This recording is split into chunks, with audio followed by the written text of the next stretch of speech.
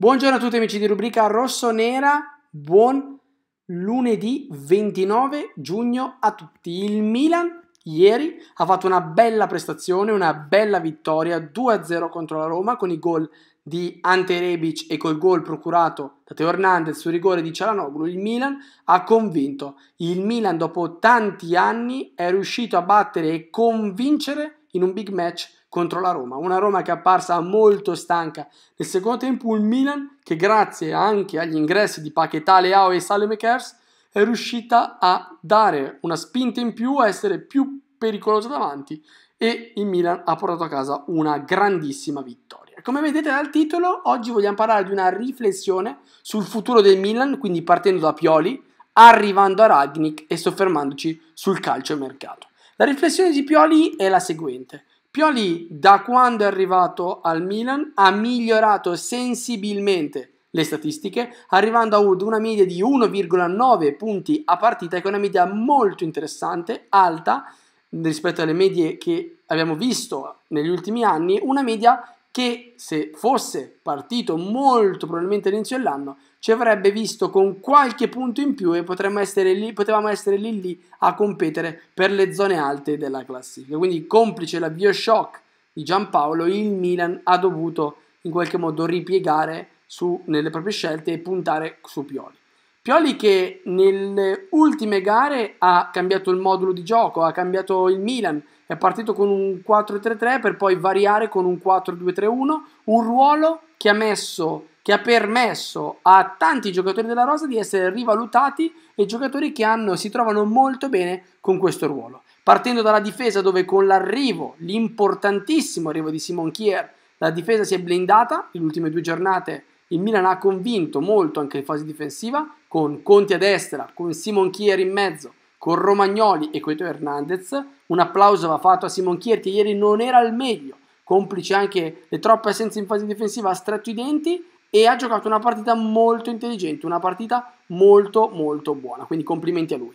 Pioli è stato l'artefice anche della valorizzazione di Ben Nasser nel ruolo di mediano insieme a Chessy, si trovano molto bene, hanno giocato molto bene nella partita ieri contro la Roma, due giocatori che hanno grande corsa, grande dinamicità, Benasser ha anche un po' più di qualità rispetto a Chessy, ma che sia un centrocampista fondamentale per il Milan, un centrocampista che si fa sentire, quindi un giocatore imponente. Poi nei tre trequartisti, grande ruolo di Cialanoglu che sta giocando molto bene dietro la punta, dove già aveva giocato all'Everkusen, molto bene anche Castiglieco, ieri un pochino meno, ma ah, da quando è arrivato Pioli, Castiglieco sta giocando con grande intensità, con grande voglia di sacrificio, ricordiamoci Lecce è stato uno dei migliori, ieri con il caldo comprensibile il suo partita un pochino uh, sottotono, ma positivo comunque sempre l'atteggiamento e la voglia di sacrificarsi. E poi anche Jack, che anche lui come Castiego ha giocato molto bene con il Lecce, ieri un pochino ha fatto un po' di fatica, però col caldo, ripetiamo, ci sta. Molto bene anche gli ingressi di Salemekers e Paquetà. Paquetà, come ha detto Pioli, deve cercare di perdere meno palloni, essere meno lezioso ed essere un pochino più concreto e pulito nelle scelte di passaggio, ma, complessiv- ma complessivamente ha giocato una buona gara. E poi Rebic, che ha giocato una grandissima partita anche ieri, grande partita Lecce, ho giocatore che ha cercato, come ha detto Pioli, molte volte la, uh, la, profondità, trovandola bene, essendo una spina nel fianco. Mi è piaciuta la definizione di Pioli. Rebic ha una spina nel fianco per le difese avversarie. E poi Leao che deve essere un pochino come, più, come Paquetà, un pochino più concreto, un pochino più, ehm, come ha detto Cialanoglu anche a Dazon, deve avere maggiore mentalità. È giovane, ci può stare, lo aspettiamo, però le qualità ci sono.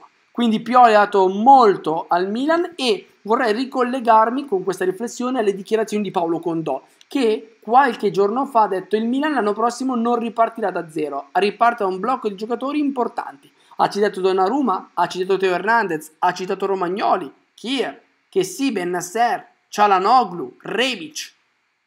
Tanti giocatori interessanti su cui poter continuare a costruire. Però per costruire dovrebbe esserci la continuità del progetto. Quindi io potrei essere anche favorevole al fatto che rimanga Pioli come, come allenatore e Ragnik, visto la capacità di scovare talenti, possa contribuire a rinforzare il Milan con dei giovani di talento. Ma Pioli lo vedrei bene come allenatore. Quindi se Ragnik non dovesse decidere di, di allenare il Milan, ma se si va alla ricerca di un attore italiano, dovremmo, dobbiamo tenere Stefano Pioli. Chi conosce il gruppo è ben voluto dal gruppo perché è una persona seria, competente, professionale e soprattutto è molto, è, sta ottenendo grandi risultati. Quindi ricapitolando, se Ragnik decide di venire al Milan ma non in chiave da allenatore, allora personalmente punterei a trattenere ancora per una prossima stagione Pioli e vedere partendo dall'inizio come potrebbe essere il suo campionato.